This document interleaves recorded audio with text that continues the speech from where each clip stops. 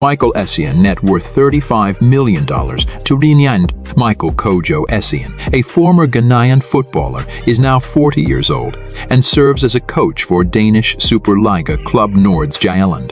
During his prime, he was regarded as one of the world's best midfielders, starting with Liberty Professionals in Ghana. Essien moved to Bastia in France in 2000, spending three seasons before joining Lyon in 2003.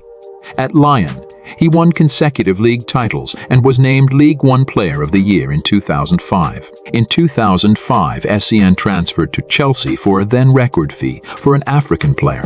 At Chelsea, he helped secure Premier League titles, FA Cups, a League Cup, and a UEFA Champions League title in 2012.